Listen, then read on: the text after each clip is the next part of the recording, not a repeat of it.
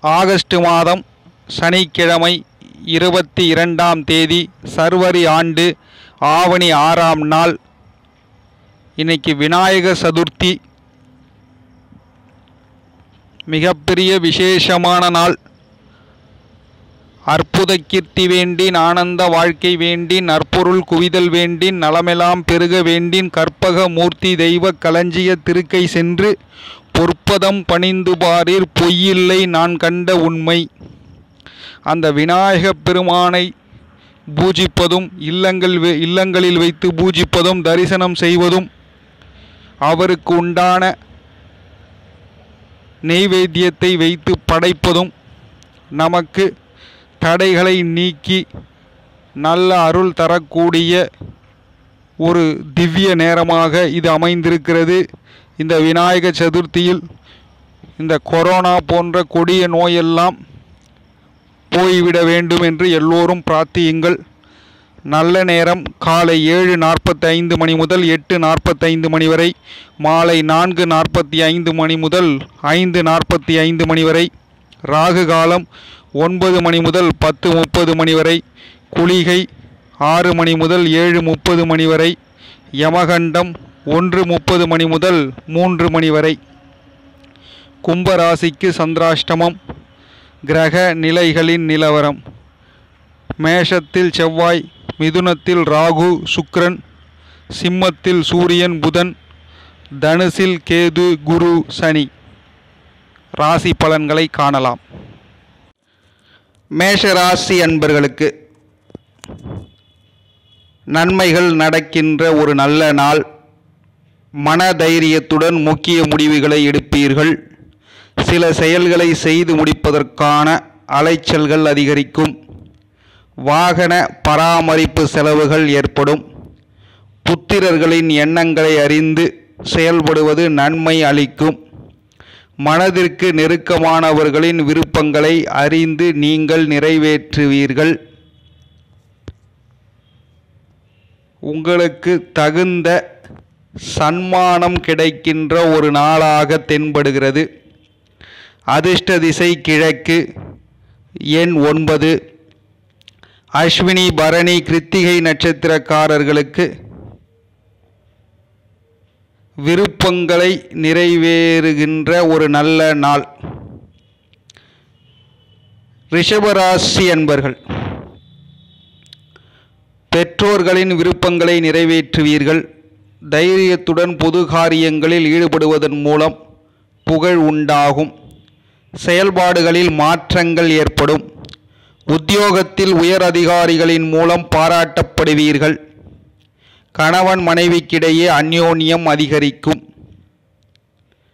அதிர்ஷ்ட திசை தெற்கு எண் எட்டு. கிருத்திகை ரோகிணி மிருகசீரிஷ நட்சத்திரக்காரர்களுக்கு புகழ் உண்டாகும். மிதுன ராசி அன்பர்களே உத்தியோகத்தில் புதிய முயற்சிகள் சாதகமாக அமையும். உடன் பிறந்தவர்கள் ஆதரவாக செயல்படுவார்கள்.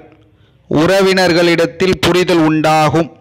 வியாபாரத்தில் பணியாட்களிடம் மதிப்புகள் உயரும். விலை உயர்ந்த ஆபரணங்களை வாங்கி மகிழக்கூடிய நாளாக தென்படுகிறது. அதிர்ஷ்ட திசை கிழக்கு எண் ஏழு.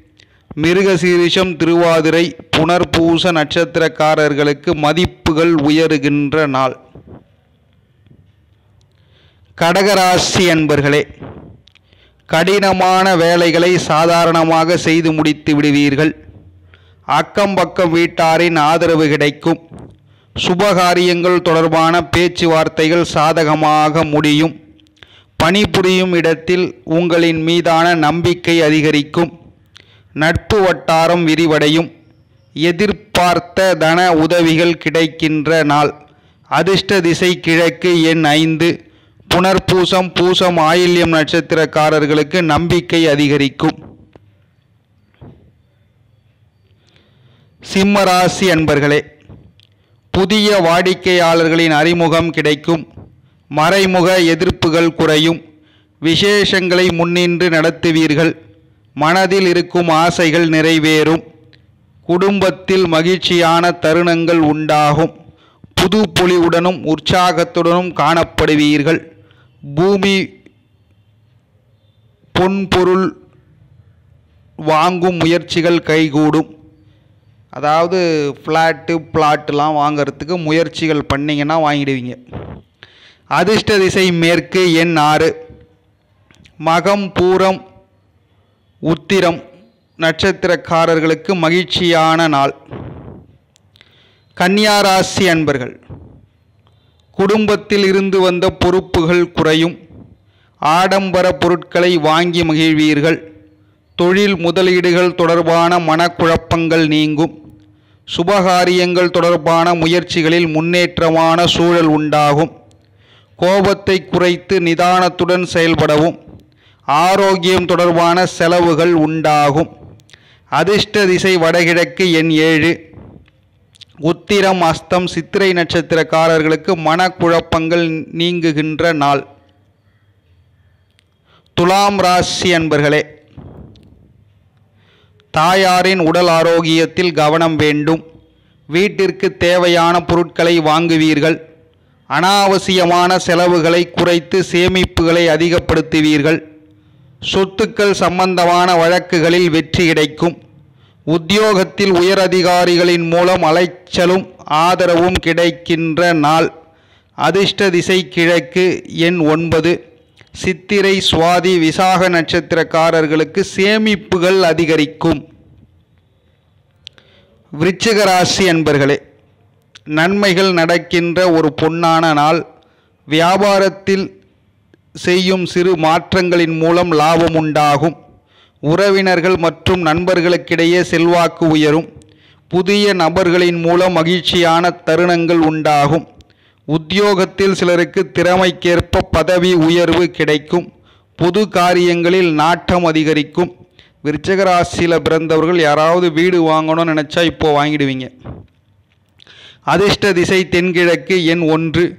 விசாகம் அனுஷம் கேட்டை நட்சத்திரக்காரர்களுக்கு செல்வாக்கு உயர்கின்ற நாள். தனுசு ராசி அன்பர்களே எந்த ஒரு செயலிலும் உற்சாகத்துடன் செயல்படுவீர்கள். வியாபாரம் தொடர்பான பொருளாதார நிலை மேம்படும். பாதியில் நின்ற பணிகளை செய்து முடிப்பீர்கள். அயல் நாட்டு பயணங்களில் ஆர்வம் உண்டாகும். எதிர்காலம் சார்ந்த திட்டங்களை நிறைவேற்றுவீர்கள். உடனிருப்பவர்களின் ஆதரவு கிட்டு கிடைக்கும். அதிர்ஷ்ட திசை கிழக்கு எண் மூன்று. மூலம் பூராடம் உத்திராடம் நட்சத்திரக்காரர்களுக்கு உற்சாகமான நாள். மகர ராசி அன்பர்களே பிரபலமானவர்களின் சந்திப்பின் மூலம் ஆசைகள் நிறைவேறும். கடன் சார்ந்த பிரச்சனைகள் குறையும். கொடுக்கல் வாங்கல்களில் இருந்து வந்த குழப்பங்கள் நீங்கும். எதிர்பாராத செய்திகளால் நெருக்கடியான சூழல் உண்டாகும். மனதில் இனம் புரியாத கவலைகள் தோன்றும். அதிர்ஷ்ட திசை வடமேற்கு எண் இரண்டு. உத்திராடம் திருவோணம் அவிட்டம் நட்சத்திரக்காரர்களுக்கு பிரச்சனைகள் குறைகின்ற நாள்.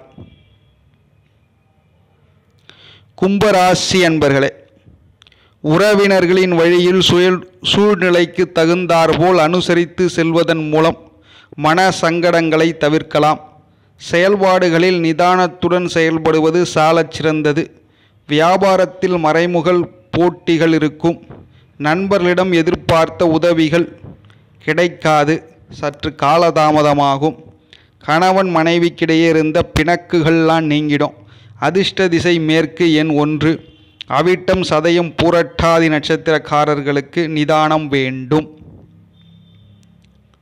மீனராசி அன்பர்களே தொழிலில் இருந்து வந்த போட்டிகள் குறைந்து லாபம் பெருகும்.